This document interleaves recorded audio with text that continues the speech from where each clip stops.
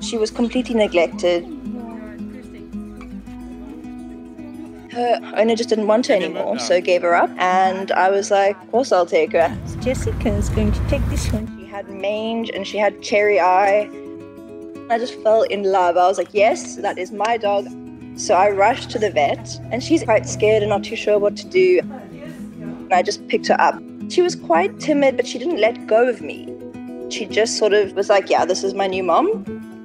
We brought her home, and she was quite run down. She slept for about three days. She just slept for three days and then just went full crazy. And I was like, yeah, I respect that. She's got the energy levels you would not even believe. Her skin healed up really nicely. She had to have surgery for her cherry eye, but it's all healed now. It was a little bit of a healing journey, but she was always happy throughout. She's not scared, she's not timid. I'm just so grateful for that because she makes friends with everyone. I would bring Olive with me to the office. So Ali, Rachel, my best friend's dog was always there. And from the minute Olive laid eyes on her, she was just like, this is my best friend. Olive is just infatuated. It is so funny. She's just like, this is honestly the best day of my life every single time. Every time. But Ali has all of the patience in the world for her. She just loves being loved by her. I first took her swimming. She was quite wary of the water, but she watched Ali go in. She was like, okay, well, if Ali's doing it, all of a sudden she was just next to Ali swimming, jumping into rivers, living her best life. And P is Rachel's best friend's dog.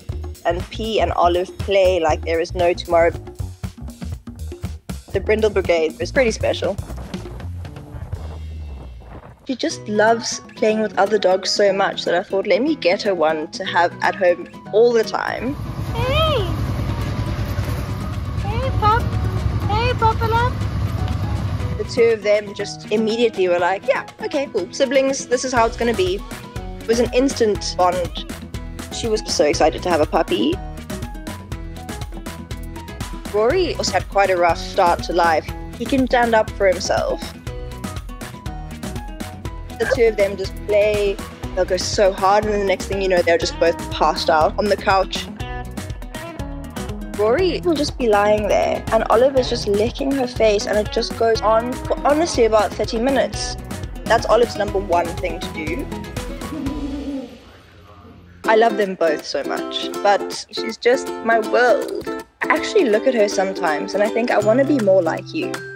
Just being game to do things and living life to the absolute fullest.